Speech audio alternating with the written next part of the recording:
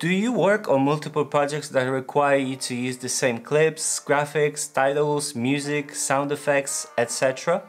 I get something that will make your life much easier. Hey everyone, my name is Mariusz Gajdzik. I'm a filmmaker and photographer based in Poland. And together with my girlfriend Martina, we run a company called Slick Visuals where we produce photo and video content for our clients. In this video, I will show you how to save a lot of time and have all your assets ready in your projects. No need to import it into every single one of them. To achieve that, we'll be using Power Bins function and those are the bins that you can access in your entire library. You can put pretty much anything into them and I will tell you what we can't in a minute and use it in any of the projects we'll be working on. Power Bins are not enabled by default, so let's jump into the DaVinci Resolve and I'll show you how to use it. So to access it in your DaVinci Resolve uh, project, uh, to see the power bins, you need to go into the view menu and select the power bins over here. And as you can see, those uh, showed up over here and I have my uh, Polish version, I have my English version, I have my music which I'm gonna be importing into and I have my sound effects which are empty too. I don't have any sound effects in this power bin. So now I'm gonna put anything from that English uh, over here and as you can see it just imports that graphic over here and you can use it in any of the projects you're working in.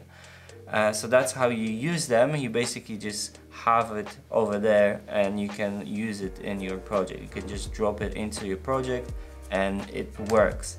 But how to put something inside of the power bin?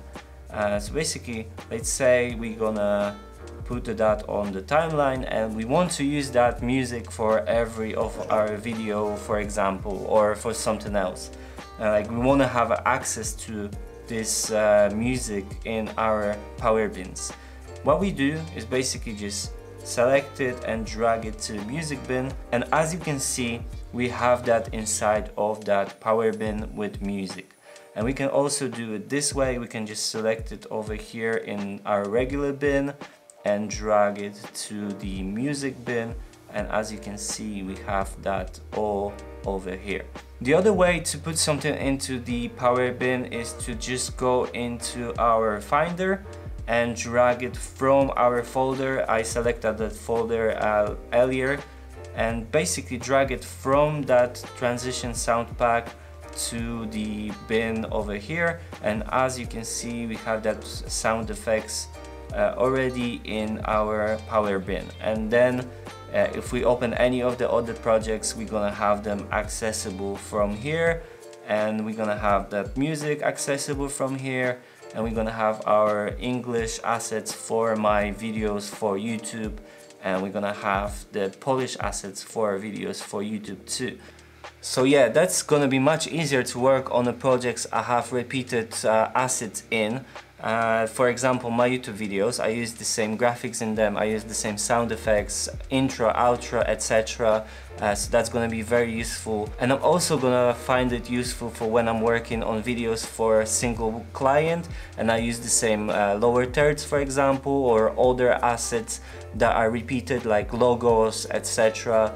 Uh, so this is gonna be useful for that reason too. And as I mentioned, you can use it for clips, you can use it for graphics from outside of the DaVinci Resolve, you can use it for the titles you made in DaVinci Resolve and just uh, save it as a preset and reuse it in another project. You can create your music libraries or uh, sound effect libraries if you want and use it in every project you want to use it but we can't use it for timelines, we can't use it for compound clips, multicam or fusion clips and it's a shame we can't but I can sort of understand why it is like this. I myself have found it very useful for when I make my videos for YouTube or my clients.